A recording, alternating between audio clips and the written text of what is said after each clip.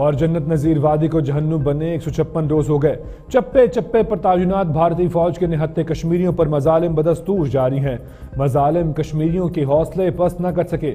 سابق بھارتی وزیر خزانہ چدم برم نے مقبوضہ وادی میں مودی سرکار کی شکست تسلیم کر لی ہے۔ کہتے ہیں، بھارت مقبوضہ کشمیر کو عملاً کھو چکا ہے۔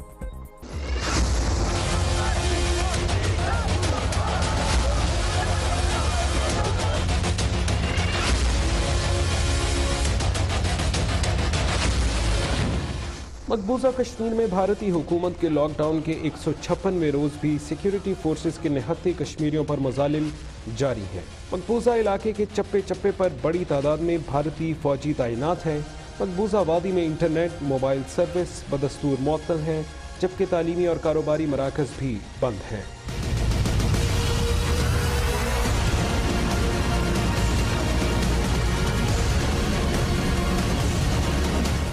سابق بھارتی وزیر خزانہ چدمبرم نے کہا ہے کہ بھارت مقبوضہ کشمیر کو عملاً کھو چکا ہے۔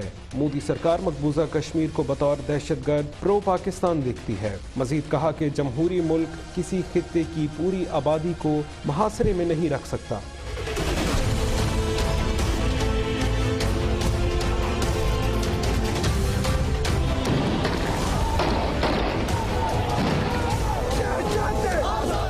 مقبوضہ کشمیر میں نام نہاد سرچ آپریشن یارڈ میں پکڑ، دھکڑ، تشدد اور پابندیوں کے باعث خوف و دہشت کا ماحول اور غیر یقینی صورتحال بدستور جاری ہے۔ ادھر گھروں میں محصور ننے بچے بھوک، پیاس سے بلک بلک کر جان دینے پر مجبور ہو چکے ہیں۔ کشمیریوں کی حالت ذات پر اقوام متحدہ اور انسانی حقوق کی عالمی تنظیموں کی خاموشی تاحال برقرار ہے۔